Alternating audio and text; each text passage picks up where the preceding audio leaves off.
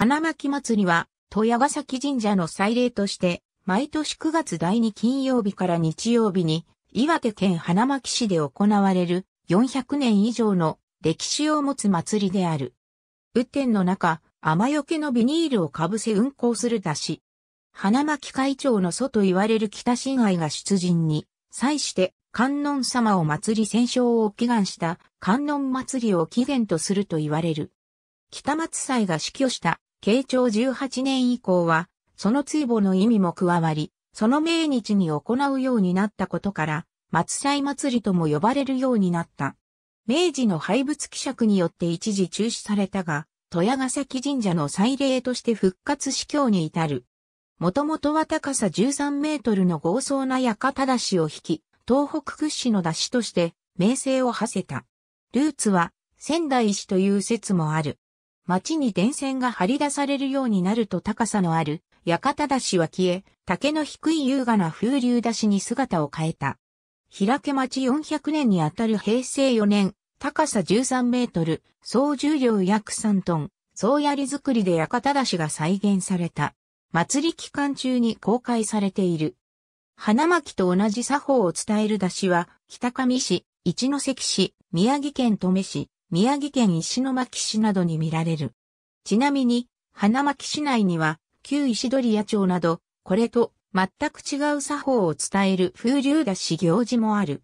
花巻林は、京都祇園林の流れを組むと言われ、花巻祭りの風流出しの運行の際などに演奏される。三味線、笛、大太鼓、小太鼓によって演奏される。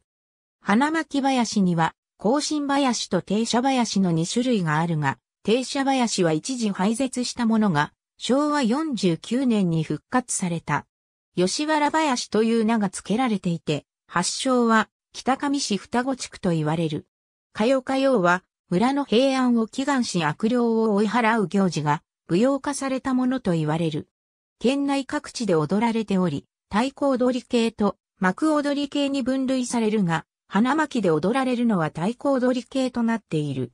各、踊り手が歌を歌いつつ、腹に下げた太鼓を打ち鳴らして踊るのが特徴。花巻祭りと同じ作法を伝えるだし。花巻祭りに参加する、みこしの数は、日本有数の参加数を誇り、例年100機を超すみこしが、一堂に会して、花巻の町を揺らす。みこしの団体は、みこしを所有する地区や任意団体、小学校区の単位が主である。参加する、みこしの種類は社の形をした宮みこし、四角い安ンに提灯を飾り付けた満頭神与等、あるが、特徴的なみこしとして、酒樽を積んだ、樽みこしもある。